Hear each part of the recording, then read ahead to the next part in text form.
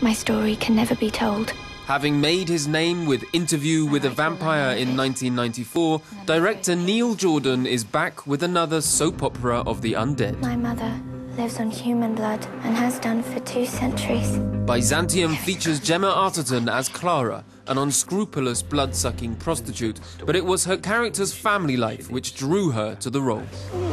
The reason I wanted to do this film uh, was the, the relationship between the mother and daughter, and I think that um, I mean we've we've all been there, you know, especially through the teenage years. That relationship is very very uh, fragile and and temperamental and and is something uh, very very psychologically strange, and, um, and that's what I really felt drawn to.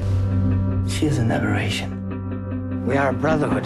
There are no women amongst us. On the run for the last two centuries, Clara finds refuge in a deserted Art Nouveau hotel where she can consume her customers in peace.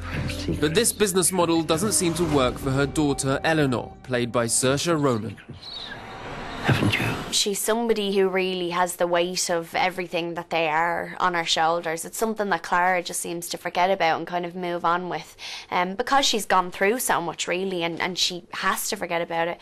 Whereas Eleanor doesn't know the whole story and so is kind of desperate to really bring out the truth about themselves.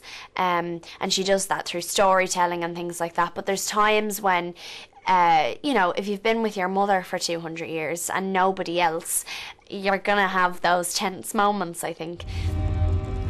Forgive me for what I must do. Simultaneously both pursued and pursuers, mother and daughter find themselves eternally trapped in a world of gothic gurgled bloodletting.